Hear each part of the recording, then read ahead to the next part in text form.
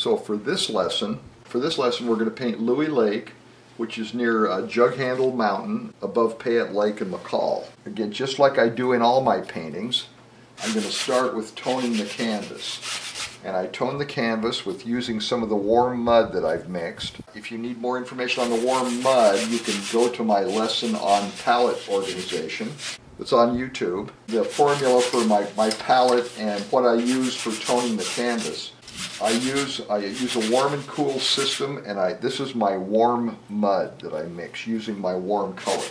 Just as easy you could probably use like raw sienna or yellow ochre. I just like to mix it out of my my uh, red, blue, and yellow pigments so that it has the same colors, the same the same basic colors in it that I'm going to be using on top of it. It just to me it just coordinates a whole lot better.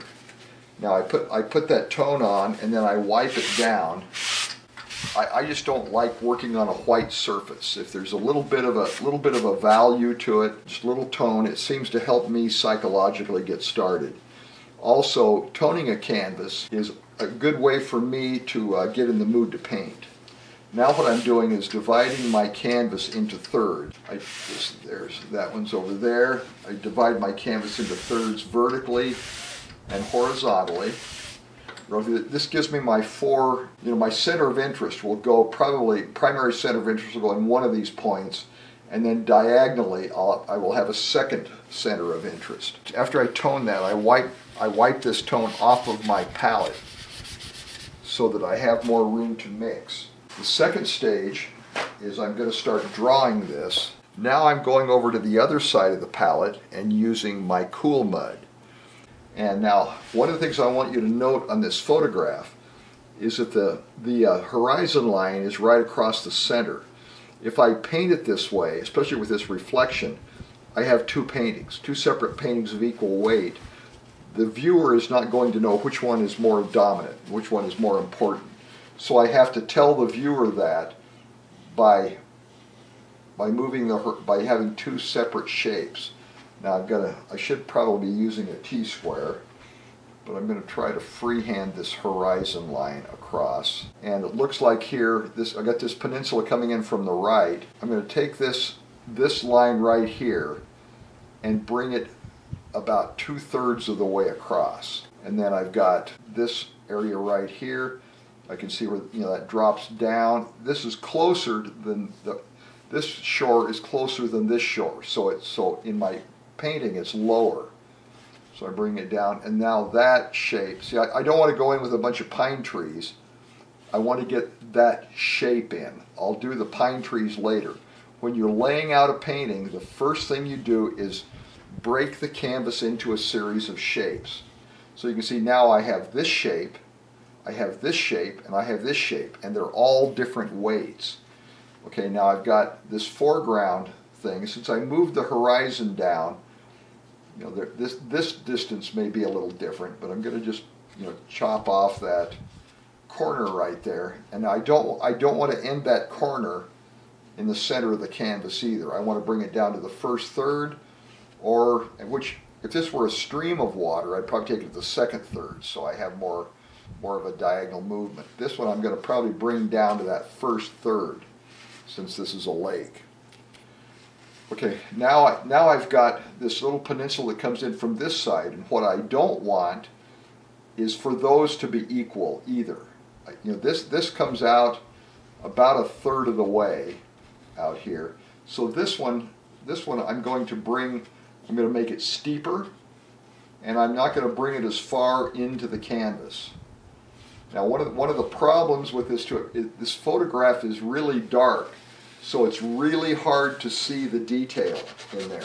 So I'm going to have to invent quite a bit, quite a bit of that. I don't want to leave this, you know, when, I'm done, I don't want that to be just a silhouette. So now my next shape will be going back to the, I've got two mountains back here. We've got the, it's kind of this foothill thing here in the front. And I'm going to bring that up. I'm going to come a, a little bit, I'm going to come, you know, I'm going to come right to, I guess, that first third and then I'm going to break it down and this there's another little slope here you know I'm just and I, I, I don't what I don't want this slope to be equal to this slope So I think I'm going to round that over. I'll, I'll deal with some of this, some of these design problems as I paint. Now, the big mountain in the background, you can see on the photograph how that slope perfectly matches that slope. If I paint it that way, it will be very, that's called a tangent. Now I have to tell the viewer that that mountain is further back. Now I can do that by making that mountain, you know, come in here, but it's that, that mountain is actually, you know, quite beautiful and I want it I want it to I want that to dominate the painting a little more. So I'm going to make that mountain a little larger. And I'll have to invent some of the slope over here, but that's okay. So there I've basically got, I've got this, uh, the, the canvas into shapes now. I've got a shape here, shape one. I've got the water, which is shape two. These two peninsulas are shape three. This mountain is actually, the whole thing is, is shape four. I could call this you know, shape four and shape five uh, and shape six, I, when, I, when I first do my drawing, my, I am not interested in drawing the things. I'm interested in recording the shapes in a pleasing way and, and, and simplifying the composition. I need to have most of my painting in about five to seven different shapes. Okay, so now, I've, now I've got my drawing done. And the first thing I want, I'm looking at this now, and now, now I'm going to do my value study. And with the value study, I'm, things standing upright in the foreground tend to be the darkest value. So that's going to be these rocks. And I'm not painting rocks. I'm just, I'm looking at these shapes in here, and I'm just getting some dark paint on there. I want, I want, that dark is going to help me to make this come forward. Now, my next step back is going to be this tree, this timbered slope coming in from the left. So now I'm taking some of my cool mud and I'm putting some blue, some cool blue and some cool yellow in it. I want to make I want to make a cool green and a little bit of mud just just to knock some of that green knock some of the green color down. So now I'm going to also add a tiny bit of white to this.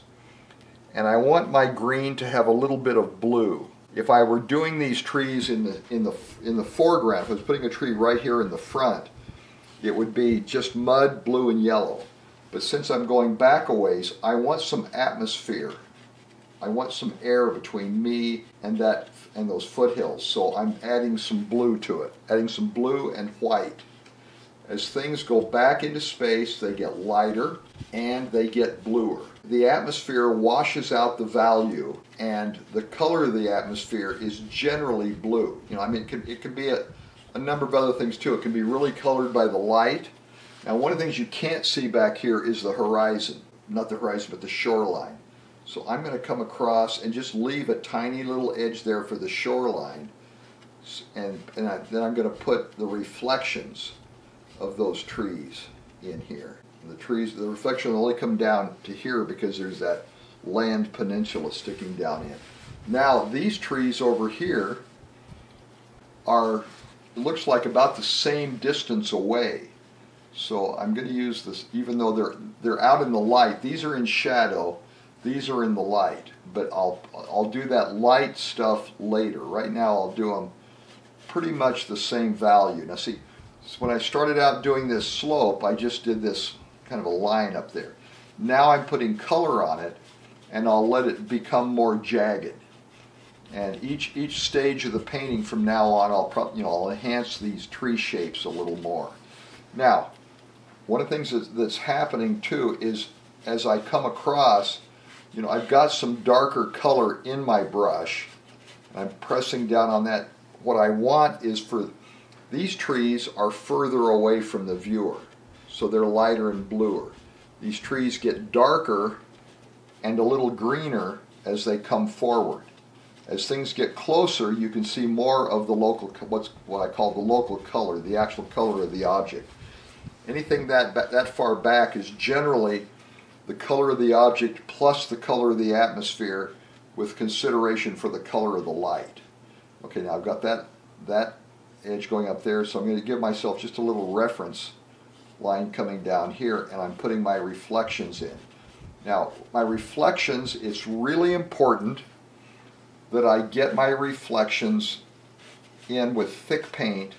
I can get really convincing water if I use only vertical brush strokes in my reflections, you know, no matter what I'm doing, even if it's sky, I do vertical brush strokes in my reflections. And then at the end, I go over with some horizontal brush strokes for surface tension, and the water looks quite convincing. Okay, so there, there's my, my foreground vertical, which is basically, that's just my, my cool mud. Then this is my cool mud with some blue and yellow and white in it. Now I'm going back further. So what I'm going to do now, now I'm putting some more white in my, in my green, and I'm adding some blue to it. And it looks like I've added quite a bit of blue. I'll test it now. I'm going to test it here. I see. I want to know. I'm not going to start these these mountains out in here because I don't know what that value relationship is. If I start them right next to this mountain, you see, I can immediately see that the color I'm using is lighter, is lighter than the color of those trees. This mountain down here is, this is pretty solidly timbered. There's some areas of, uh, of rockiness, and I'll, I'll put that in later. That's a, that's a second, that's another value family. I guess the first thing I should do, too, is get some of the reflections. This, this mountain right here is going to I'm just going to give myself some reference for the reflections of that mountain that I'm putting in. And as I go back, I, I have the option. I can make it a little lighter and a little bluer as I go back, or I can just, it's uh, ridges, so I could just make them all the same color. Or not, pardon me, not the same color, but the same value. The, the color never, I don't think, is is never quite as important as the value is. So now, see, I'm going to leave just a little bit of an indication of where the shoreline is, the far shoreline of the lake. And you can see in the photograph, some of the darkest values in this photograph are clear back here, or clear back here, even clear back into here, and the water. You can see the values are quite a bit different in my painting. I, am using uh, rules of, to try to establish an atmospheric perspective if I, if I copied the values in the photograph, it would just look like I had copied a photograph. It wouldn't look like I was, I was out in nature painting. Okay, so now I've now I've got I've got this big mountain behind here. This is almost too symmetrical, so I'm going to bring some of this mountain up. Just making an editorial decision. You know, you're, you're trying to portray a particular scene, but your loyalty is the, to the, your painting, not to the reference you have to do whatever it is you need to do to your reference to make it work, to make it work as a painting. Now I'm, now I'm going up to that background mountain and I'm, I'm getting into the edge of the color I've been using. Now the top of that mountain has a lot of rock. So what I'm doing now is I'm adding blue and red. To, to, I, I do blue and yellow to get the color of the foliage in the, in the trees if I want if I want it to appear to be rock, I have to make it somewhat purple. The, the color of the earth is red, the color of the light is yellow, and the color of the air is blue. So I'm always juggling those three colors. I want to get rid of my lines. I, especially like when I'm doing the sky, I don't want to have a line around that mountain. So I'm putting my, making sure that I get enough paint over the top of that line that it doesn't show. There's my, my first, this is, these are my vertical values. They get lighter, they start with the darkest in the front and they get lighter and lighter and lighter as they go back. I got to throw some reflection down in here too. And then I've, I've got some some bare ridges in a few areas here in this timber. So I'm just going to throw some brush strokes in there to emulate some of those shapes I can see. And I'm going to use a little bit lighter color to get a shoreline across the back of the lake. Foreground verticals are my darkest value. My background verticals are my second value family. I've got three stages to my background. Now, my third value family is the foreground. So what I'm going to do now, I'm, I'm going to take a little white. I'm going to take, see, I, I want some bare land here. I'm going to take some white, a little bit of mud, some red, a little bit of yellow. I'm just going to experiment around so I can get kind of a kind of a dirt amber sort of a color. And then now I guess I'll start up here, and this you know there's rocks on here, and this is the kind of the area I'm blocking in the area between the rocks. And where the rocks I use kind of vertical brush strokes, I'm laying my brush strokes down at, at an angle here. I want the the land to appear that it's it's sloping down to the right. So and then I'll, I'll come back and work these rocks later with this system, I don't work, I don't do anything with as far as illustrating any of my uh, objects until later in the game. Right now, I just want to get my value system down. The shoreline here, I'm putting in a little bit lighter because the shoreline is laying horizontal. Now back over here on the other side, I'm just going to take a little cool mud and I'm to, I still want my shoreline to be lighter than the trees but I want it darker than that because the sun is coming from the left. So the sun is not going to be hitting that shoreline. Now, the, I guess I should go across the back. I'm, gonna, I'm, throwing some light there, but I'm going to leave it a little darker and cooler over there so it might appear that it, that it wanders around. So now the last value is the sky. I keep harping about value, but value is what the whole thing is based on. Value one, things standing vertical in the foreground. Value 2, which can be a series of values, is anything standing vertical in the background. Value 3 is the horizontal planes, and value 4 is the lightest value, and that's the value in the sky.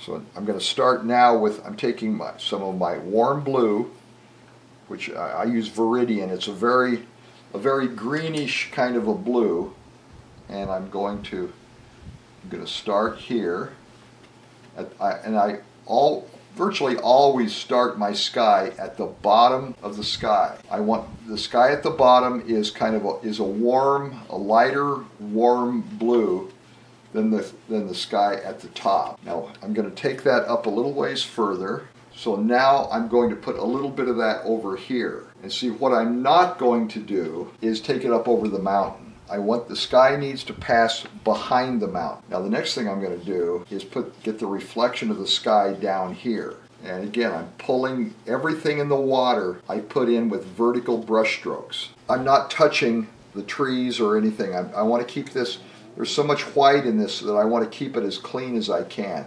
See up here, all, the, all through the painting, I'm kind of running color into color, except when I get to the sky. The next thing I'm going to do is I'm going to add a little bit, just a little bit of cool blue to the sky, and then I'm going to start going up just a little bit. I added cool blue and white. I just want to get a little bit of a, of a color shift. The sky gets darker and cooler as it goes up. And then I'll bring that kind of up over the mountain and I'll bring it down the other side. And I'm going to take that up to the top of the canvas here. I find myself just, you know, I'm sloppy and I, and I leave out some areas. There's some areas where I really don't touch the, the canvas and, I, and those hopefully will, will become clouds as I move along. Now as I come across, see that the sky is, the sun is on the left, so as I go to the right, the sky gets darker and cooler. And I'll get a, put just a little bit of this cool down in here just to, just so I have some of that in the water. Okay, now the next thing I'm going to do, I'm taking some white. You know, when I got to the sky, that's the first warm color I used in the painting. Now I'm going to use another warm color. I'm taking some white, a, a clean brush, a brush just as clean as you can get it, a little bit white with a little bit of warm red and a little bit of warm yellow. And now I'm just going to smear, you know, I, I don't want to I don't want to be really tight and realistic with this.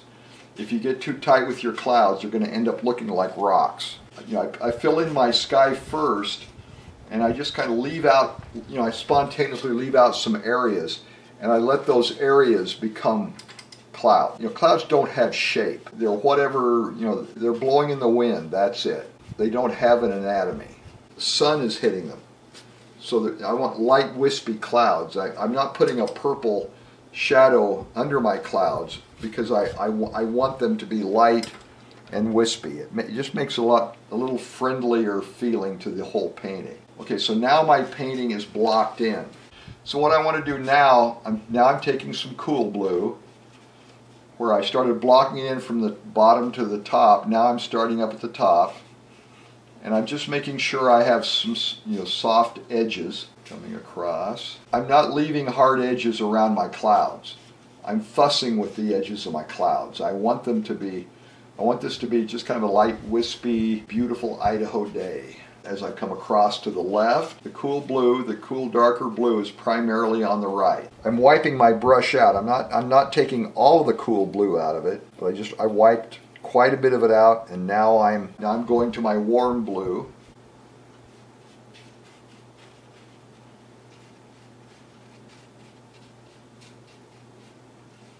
and coming and getting the, the right hand side of the sky is warmer because the sun is coming from this side and the bottom of the sky is warmer. So what happens, the sky tends to go from lighter warmer on the lower side that's toward the sun and go darker and cooler at kind of a diagonal as it goes up towards the side that's away from the sun. Okay, so now I've, now I've got that done. I started my painting from the front to the back. If I start from the front and work back, I can actually see where I'm going at each step better than I can if I start at the back and work front. A lot of the instructors that I've taken classes from have you paint the sky first and the mountain second and, and you gradually work forward and that really doesn't work perceptually. Psychologically, perceptually, you're able to see that your value shifts better if you start from the front and work back. So what I'm going to do now is, now I'm going to the background mountain. See, I, start, I block in from front to back, I finish from back to front. So what I'm going to do now, I've got the color of that mountain. I'm going to, now I'm going to, to look at the shape of the mountain a little more. And now, see, I, I didn't want to touch that mountain color in, I didn't want to touch the sky into the mountain because then I'd get a dirty sky. But now I can overlap my mountain shapes into the sky. See, I can obliterate that edge now. If I drag some of the sky color down into the mountain, it just looks like a highlight on the mountain. So now I'm looking at the photograph and I want to, I want to come down a little steeper on this side. Now there's a little bit of an area back here I can see in the painting that looks a little more horizontal. I'm going to, uh, well, I guess I can do that when I'm putting my highlights on. Okay, now the first thing I want to do, I'm going, I'm taking the color, I'm taking the color I blocked in the mountain with. If the sky, if the sun is coming from the left, I do my downhill slopes. I don't know if you can see them, I'll use a little more white. I'm going to exaggerate this a little bit. The slopes that are in shadow are lighter than the body of the mountain. The reason for this, this is one of the first ways you can you can spot you know, kind of some amateur painting, is that the, people will darken the unlit side of the mountain, when in fact what you're getting is reflected light coming back. The darkest place on the mountain is your block in color. Everything on top of that is lighter. Now there are exceptions, but uh, I won't go into those because they just become too confusing. But it has to do with you know some some atmospheric conditions. Now I've taken a little bit of that color and just smeared some into the reflections down here in the water. Now I want to go to the other side and put, start putting my highlights in. So now this, this color, I took the color, my color of the clouds, so I'm adding a little more red to it. So this is, this is white with a little bit of warm red, a tiny bit of warm yellow was already in it. Now I'm going to come down here to my mountain color and just see how this looks because I, I don't want a fully warm color there. I want to warm up this mountain color. Okay, so now I want the light to hit this side of the mountain, so I'm going to come in and see this is a different, see the highlights over here are the same color, just with more white. The, the, high, the colors over here are different, this is different pigments. This is warm, these are warm colors. I'm overlapping this slope a little bit into the sky, so I, I get rid of that halo of canvas tone. Now there's a little bit of a little bit of a valley in here that's a little lighter. And I'm just going to scumble a little paint around here to give it some a little bit of randomness. If it's a little more random, then the viewer has more ability to create the image. The more the viewer is involved in creating the image, the more apt they are to buy it. I'm, I'm imagining this side of the mountain because it's not in the photograph, but I suppose over you know over in here I can I can have a little, just for some interest, just for some balance. So I've got that color over here and see it just to have a little bit of color over there balances it a lot better. Okay, so now this is a much more difficult part of the painting here. I'm going to throw some uh, Let's see, right over in here I can see some light hitting rocks down here. There's a kind of a rocky slope in here that goes down to the uh, water. And see if I put some of that in, then I've got to come down here and get, see I shift to vertical brush strokes. I'm putting just putting some of that in the water. So now, now I want to, I want to start getting this to look like trees. And what I don't like that color real well. I want that color to be a little bit bluer. I want this to be, it's going to be a little more down in the shadows. What I'm doing here is vertical brush strokes and I'm also adjusting the value. I think that I got, you know, I got these trees, this, these tree covered slopes blocked in a little bit too light.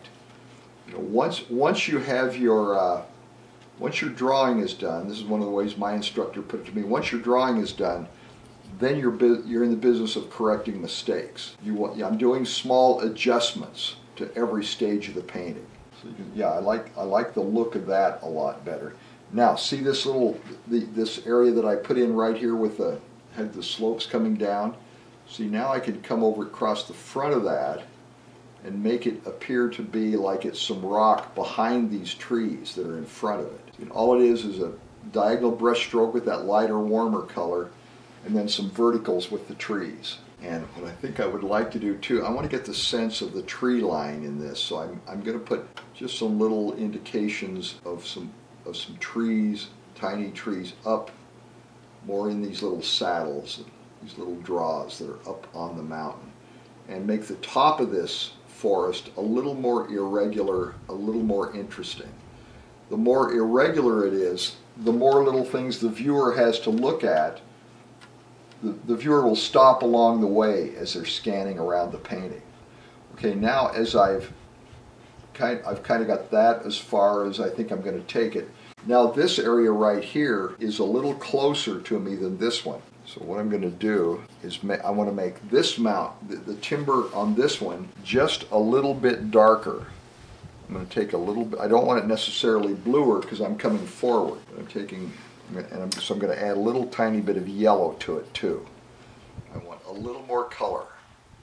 And sometimes these, these really subtle shifts are really important. And on this, you know, I can I can push the brush, pull the brush, and bring that forest, make it a, maybe just a little bit ambiguous where the where this ends over here. I know the and I know the bottom the bottom of this slope is closer to me than the top of the slope.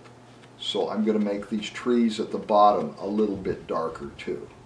And then if I just really use the just the edge of my brush, maybe I could get look at, just get the look of some trees standing in front of that rock outcropping there. Now I, have got that background pretty well developed. See, it's not nearly as complicated as the background here, and I've changed the mountain kind of significantly but uh, but that's uh, you know that's pretty much as complex as I want the background to be. I think. So now now I'm going to add some blue. I want this to be a little darker, a little blue, a little mud. I may have to put a little white in it. And I want some yellow a little bit because this is coming forward. So I've got to test the value here. I kind of like that. It feels like it needs a little more blue. A lot of times I just experiment around a little bit until I get the color I want. So now, now what I want, and you see these, these slopes, the trees, the tree shapes are much larger than the tree shapes back there because they're much closer to the viewer. So I can make the top edge of these slopes a lot more interesting by sticking these tall, narrow trees in there. And again, with this, this one, I want, I want these trees darker at the bottom because there's less light hitting the bottom and the bottom of that slope is closer to the viewer. And then I've got to drop some more paint in the uh, reflections.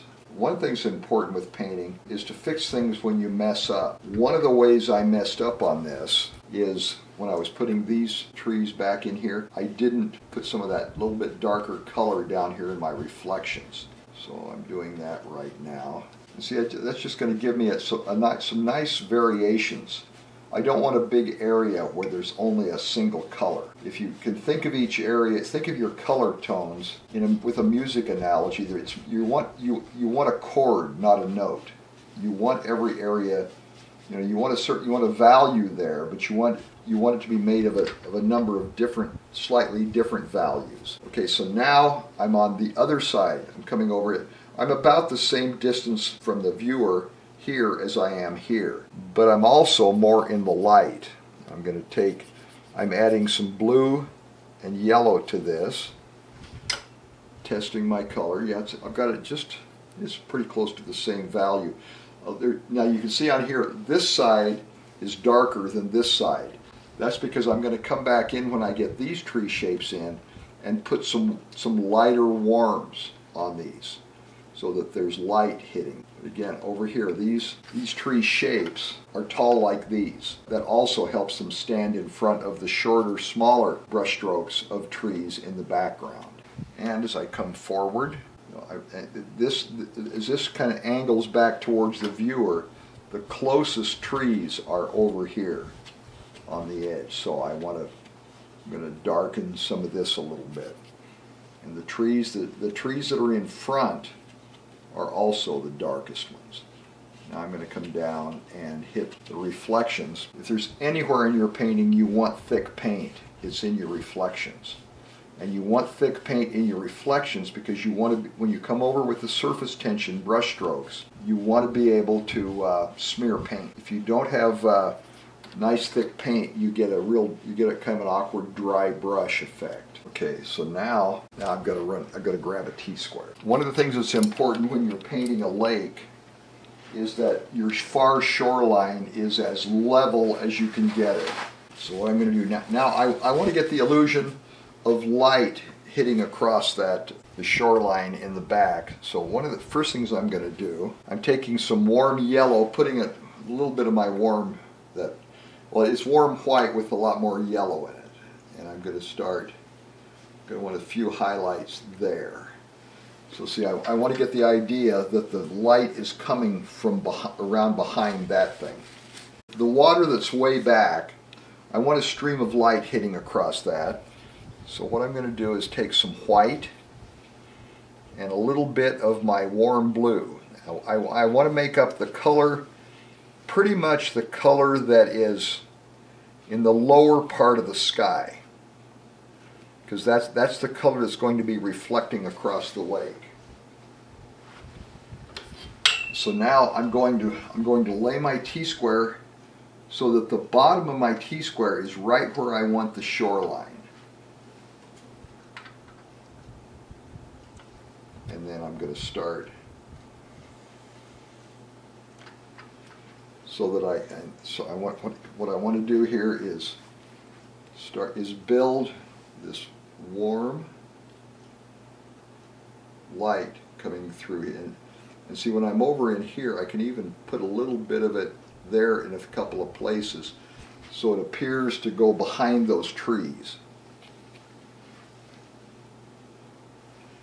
Now I'm going to stand over here so I can see what, it, what that t-square gives me a good reference for level.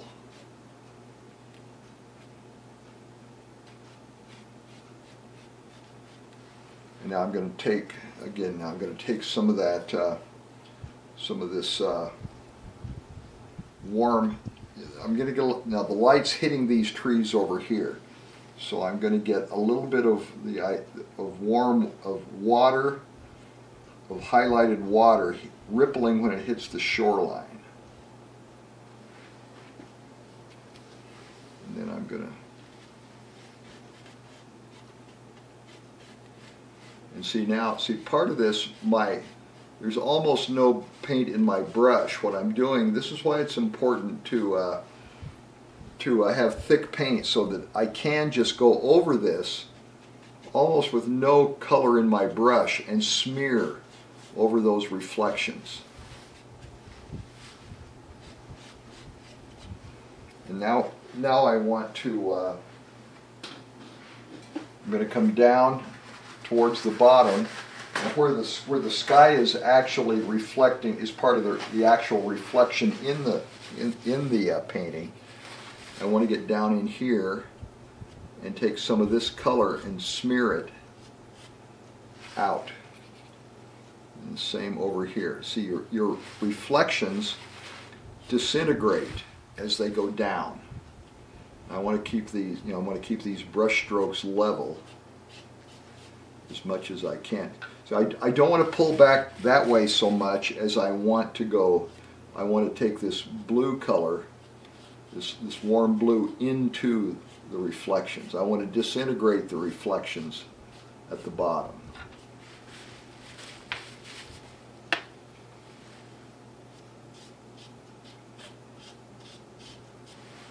So see, I've, I, my, my, my picture now, I've gone, I've blocked it all in from front to back, and I'm finishing it from back to front. So now, now what I'm going to do, I'm going to look up here and I'm going to look at, now see, I'm, now I'm refining these areas in the foreground. I'm just taking basically some of my cool mud and and I'm just throwing some shapes in. I'm not, what I'm not trying to do is paint rocks. I'm just getting an interesting interplay of light and dark here. Now I'm going to take a little bit of this blue of the sky and I'm going to put some tops. You know, this is the light that's hitting the tops of these rocks. The rocks are, it's, it's reflected light from the sky that hits the top of the rocks.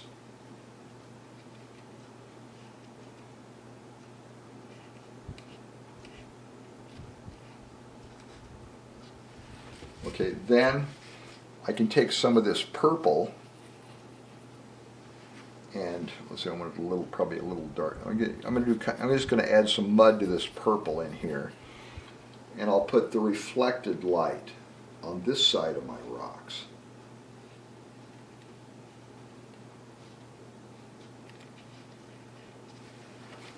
And then if I really want to, if I if I need to, and I'm not, I'm probably not going to do this to every rock, but on the sunlit side, see, I'll just use my warm white. The, the, the rocks are just very highly reflective, and you can get really nice effects on the rocks by just looking at what light is coming from what direction. So again, the the face fa the face that's facing the viewer is my darkest value. Then I put a little bit of the sky color on top of them, the reflected light color down, down the shadow side, and a little bit of the warm white on the highlight side. Now one of the things I've got to do is go back, again, you know, a lot of times I do get things out of sequence. And that happens a lot when you're painting, but you can go back, go back and fix things. So now, now I'm mixing a warm green. And one of the, I have to experiment around, one of the things you really want in your warm green is a little bit of red. This is one of the things that makes green such a difficult color to use is you, you really kind of always need a little bit of red in it. Now this, this slope is in shadow. This slope is in the sun. So, and I'm going to put I'm going to put just a little bit of warm mud in this. And I want to so I'm just going to put some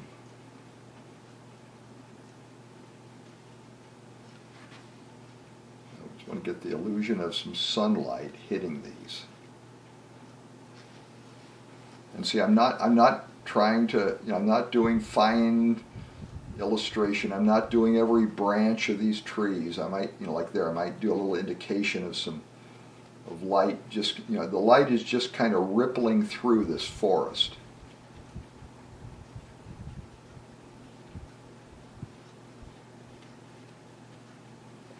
that. And I, this should have gone in before my reflections, but I can still, still put a little bit of that in. And then I can, uh, then I can take, you know, this is an awful long ways back for detail like this, but I can, you know, just indicate a few tree trunks. It just adds, it adds a little bit of interest. Now with my tree trunks, you see I've got, you know, I put one here, put one over here, you know, now where I, somewhere over here, probably over in here, I need a cluster. You know, your, your, the tree trunks shaped like that, they, they have to be composed. You know, I, I, I can, I, I, I've got, what, I've got, what, one, two, three, I've got three or four of them right over here, and I've got a cluster of them here. So about a third of my tree trunks are in here, and the rest are over here. One of the things you want to do is, is try, and I don't always get it, but try to always work in one third, two thirds. Even if you know, like one third of your tree trunks, or you know, th this shape right here should be bigger than this shape. You know, I'm not sure if, if it is or not. But see, this shape should be, this shape is twice as big as that shape. So I've got one third here, two thirds over here. If you just keep doing that sort, you know, always, and that's one of the reasons I block off my uh, grid at the beginning, is to try to keep myself more and more and more as I paint uh, aware and cognizant of the rule of thirds. See, even here, now I've got these rocks over here, but I've got a cluster of rocks. So I've got, you know, most of my space, two-thirds of my space is right here with these little random things around it. And I find myself, I do that more and more unconsciously as time goes on. So that's Jughandle. Louie Lake at Jughandle Mountain at McCall, Idaho. A trophy trout lake, yeah. Another way to attend church in Idaho.